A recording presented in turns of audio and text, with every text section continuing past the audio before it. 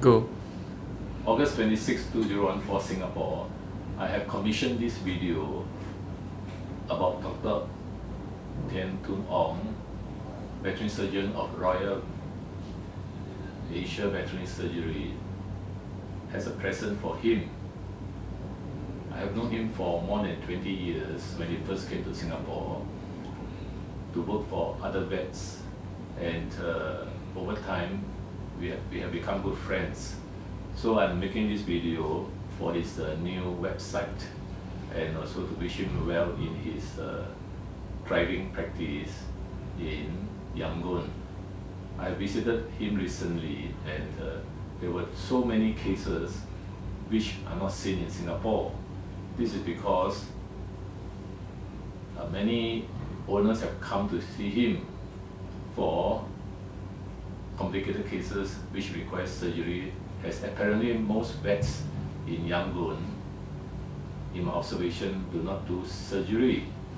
And uh, for example even uh, spaying of the dog and cats that's because the culture was to give birth control injections uh, in the past.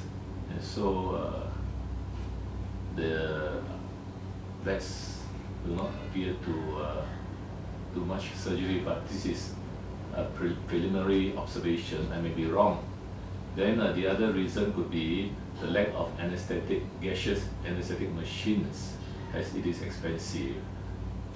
Now the problem with uh, investing in anesthetic machines is that if you don't have cases, the machine is not used, and so you can't uh, you can't uh, amortize it, and so that may be the reason that uh, the best use injectable anesthetics.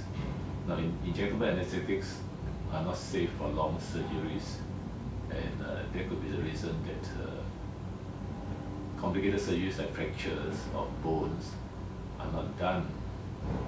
So, Dr. Aung, being uh, experienced in Singapore, having worked with several vet clinics, has uh, acquired considerable skill and expertise in veterinary surgery and he also likes veterinary surgery.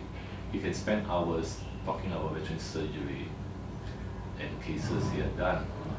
So I find him to be uh, very passionate about veterinary medicine and surgery. Very focused and driven as he works long hours. Uh, he's one of those rare vets who really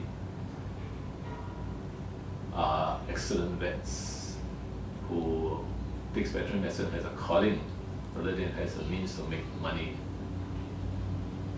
So I wish him well in his future.